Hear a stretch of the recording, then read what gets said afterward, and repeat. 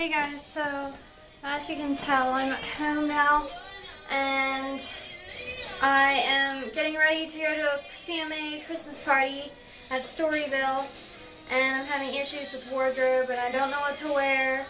Like I am wearing what I'm gonna wear, but I don't know what to wear for my shoes. So I'm having issues. Um, so I need to get my makeup done, finish that, and then I'm ready to go. I have to go over and meet Hushai and Noelle, and then we can go. But I literally just came was I just got back here about an hour ago from Pennsylvania. Um, yeah.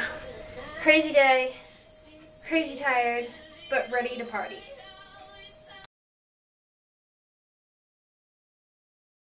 Hey guys, so um, like I said, I was at the CMA Christmas party, and so we are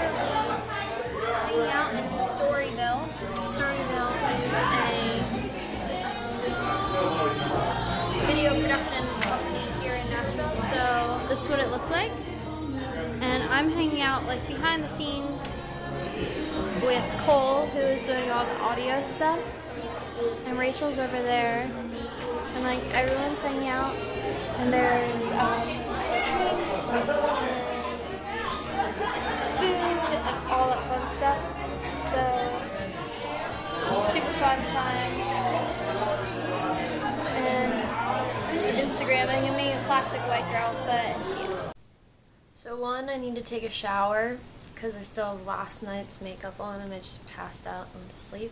Been up since 7 a.m. this morning. It's around like noon right now.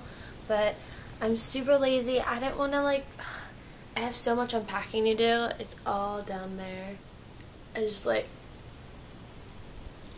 I need to unpack. I need to do some videos. I mean, edit videos. I've been reading my book all day long. I'm almost done with it. I'm in my super lazy mood, and I know I should probably be getting up and doing some stuff.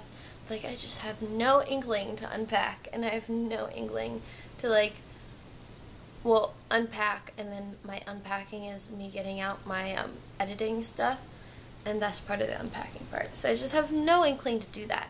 And so I'm just gonna read a book, and it's dreary and crappy outside, so like I don't know if I can go out and work. But I just want to. I'm home now. Yeah, and I just have.